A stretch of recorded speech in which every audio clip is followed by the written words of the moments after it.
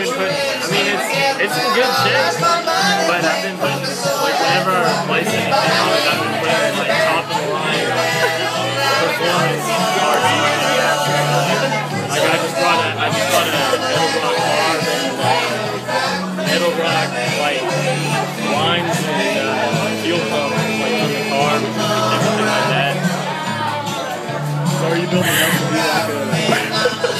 I mean, it's gonna be my daily driver because that, that Chevy 1500, I've got. Huh? No. But uh, that Chevy.